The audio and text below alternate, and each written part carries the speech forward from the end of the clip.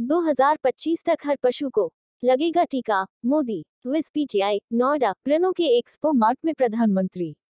नरेंद्र मोदी ने सोमवार को चार दिवसीय वर्ल्ड डेयरी समिट का शुभारंभ किया। इस मौके पर पीएम ने कहा कि पूरी दुनिया में सबसे बड़ा दुग्ध उत्पादक बनाने में भारत के छोटे किसान कोऑपरेटिव और इस सेक्टर से जुड़ी महिलाओं का खास योगदान है।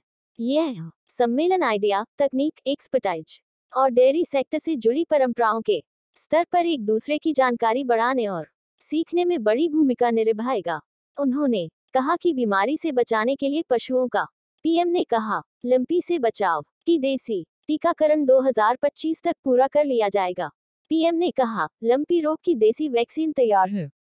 प्रधानमंत्री ने देश विदेश से आए मेहमानों को संबोधित करते हुए कहा कि पशुधन और दूध से जुड़े व्यवसाय भारत की हज़ारों वर्ष पुरानी संस्कृति का अभिन्न हिस्सा रहे हैं।